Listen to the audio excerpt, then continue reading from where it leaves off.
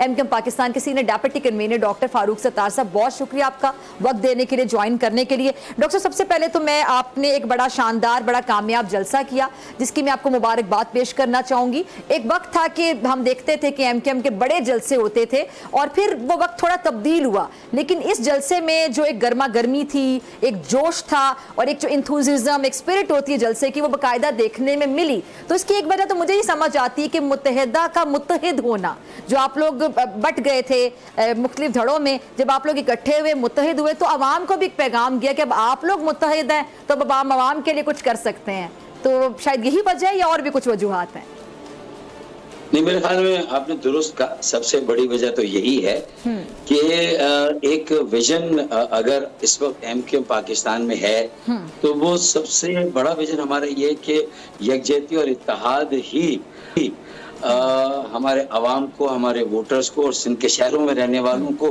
खास तौर पे इब्तदा में और फिर इंशाल्लाह ताला not looking back sky is the limit फिर हम दही सिंध में और फिर पंजाब में भी हमने तकरीबन 40-50 सीटों पे लोगों को खड़ा किया है हम्म। बलूचिस्तान में 15 से 20 और के पी के में 10-12 हमने वहाँ पर भी उम्मीदवार खड़े किए तो इस बार हमने नेशनल ग्रोथ के साथ भी जो है वो अपने आप को जो नेशनल हम्म। हमारे रिप्रेजेंटेशन उसके साथ भी कनेक्ट किया और ये जलसा हमारे माजी के जलसों की तरह और शायद एक बड़े जलसों में से एक बड़ा जलसा था जो बड़े जलसे माजी में हुए। तो मेरे ख्याल में ये रिवाइवल हो गया। एम क्यू अपने पैरों पर खड़ी हो गई। एम क्यू वापस आ गई। M Q. कहीं पर भी कहीं पर भी नहीं गई। हमारे मुखालिफ थे।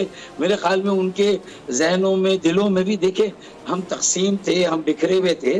तो इसकी वजह से तो ज़ाहिर है कि ये मुमकिन है। कि लोग मायूस थे।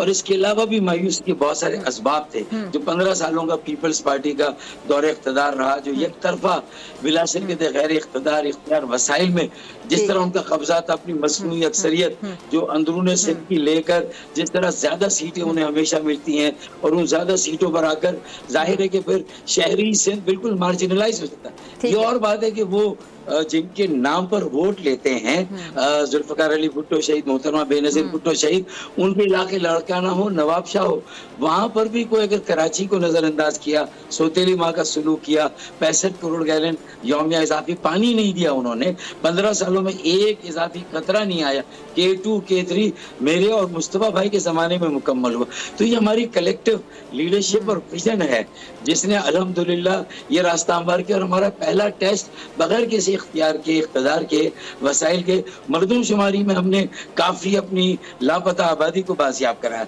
और एक कौमी असम्बली की सीट का इजाफा और तीन सुबह असम्बली के जो कराची को अच्छा, मिला मेरे ख्याल में फारूक सतार साहब सीट एडजस्टमेंट जो कि नून लीग के साथ है अभी तक कुछ क्लियर पिक्चर सामने नहीं आ रही है। क्या वजह?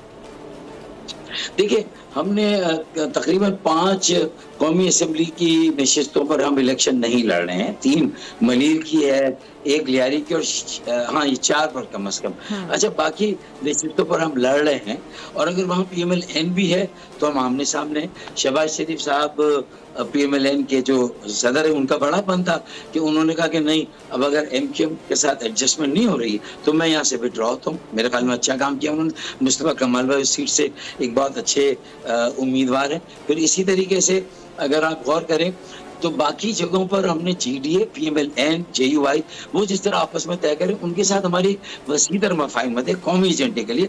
और ए एम पी ने भी जी डी ए ने भी जिसमें पी एम एल एफ़ है और पी एम एल एन ने और जे यू आई ने इन चारों ने हमारे सबसे जो कौमी एजेंडे की बुनियादी जो हमारा नुकता है अवलीन वो है हमारा आईनी तरमीमी बिल और आईनी तरमीम का पैकेज जिसमें मकामी खुद मुख्तारी और मज़बूत ज़िले मज़बूत पाकिस्तान की जमानत है।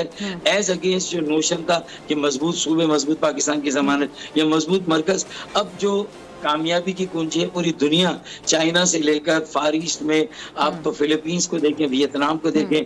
मलेशिया को देखें आप थाईलैंड को देखें ये वो ममालिक है जिनकी तरक्की का राज उनके इंजन ऑफ़ ग्रोथ उनके ज़िले उनके शहर है और हाँ। पाकिस्तान के तमाम 130 मेयर्स हैं 130 ज़िले हैं हाँ। अगर उनको एम्पावर करेंगे बरह रास्त एनएफसी से उनको फंड देंगे जिस तरह बरह रास्त वफाक को फंड मिलता है सूबों को फंड मिलता है वज़ीर अला को मिलता है गुजरा आला को। इसी तरह 130 मेयर्स को वो फंड मिलना चाहिए।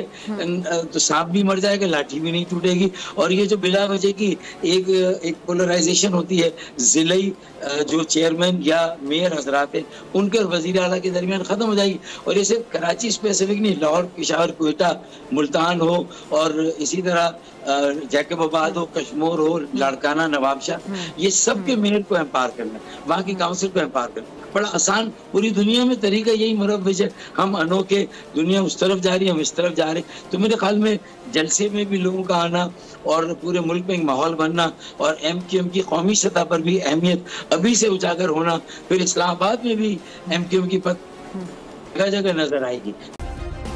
सब्सक्राइब करें और बेल दबाएँ ताकि कोई खबर रह न जाए।